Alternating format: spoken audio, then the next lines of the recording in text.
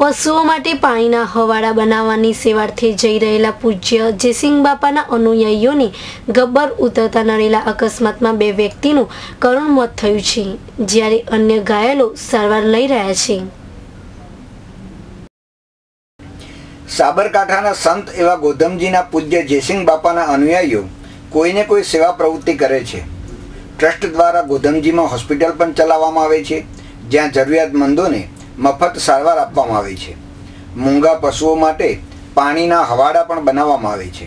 આ હવાડા બાંધવા માટે સંત સ્ત્રીના અનુયાયીઓ માલ સામાન સાથે જરૂરિયાતવાળા સ્થળે પહોંચી જાય છે અને જાતે પરિશ્રમ કરી હવાડાનું નિર્માણ કરે છે.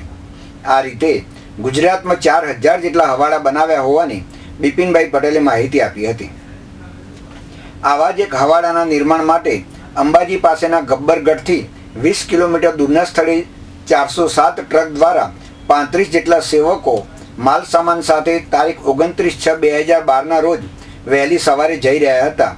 ત્યારે ગબ્બરથી ઉતરતા ટ્રક ચાલકે સ્ટેરિંગ પરનો કાબુ ગુમાવતા ટ્રક પલટી ખાઈ ગઈ હતી.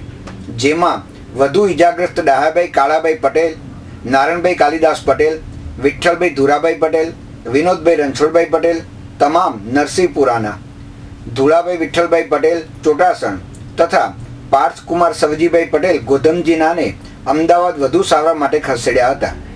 જ્યાં ડાહાભાઈ કાળાભાઈ પટેલનું રસ્તામાં જ નિધન થયું હતું. જ્યારે પ્રવીણભાઈ જીવાભાઈ પટેલ બ્રહ્મપુરી, ગોવિંદભાઈ હીરાભાઈ વણકર ભાદરડી, કેળાભાઈ મૂળાભાઈ વણકર ઈડર, રામજીભાઈ છગનભાઈ પટેલ ચોટાસણ તથા કિશન અમિચંદભાઈ સુતરિયા ભાદરડી વગેરે સિવિલ હોસ્પિટલ હિંમતનગરમાં સારવાર માટે દાખલ કરેલ છે. છેલ્લે મળેલી માહિતી પ્રમાણે કુકડિયાના માણેકભાઈ પ્રજાપતિનું પણ અમદાવાદ લઈ જતા રસ્તામાં જ નિધન થયું છે. આમ, મૂંગા પશુઓ માટેની સેવાથી જઈ રહેલા સેવકોને નડેલા અકસ્માતથી પંથકમાં ઘેરા શોકની લાગણી છવાઈ ગઈ છે. સદગતના પુણ્યશાળી આત્માઓને પ્રભુ ચીર શાંતિ આપે તથા ઈજાગ્રસ્તો સત્વરે સ્વાસ્થ્ય પ્રાપ્ત કરે તેવી સિટી ન્યૂઝ પરિવારની પરમ કૃપાળુ પરમાત્માને પ્રાર્થના. હિંમતનગરના પ્રતિનિધિ સુરેશ થોરી સાથે રસિક સોની સિટી ન્યૂઝ હિંમતનગર